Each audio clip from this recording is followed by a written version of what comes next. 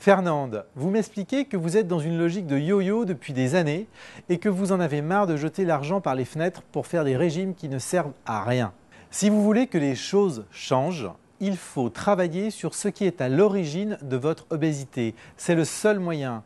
Et la méthode Montel Slim est faite pour cela. Je vous invite à lire sur cette page le témoignage de René et à en retrouver d'autres sur notre livre d'or. Alors bon courage Fernande.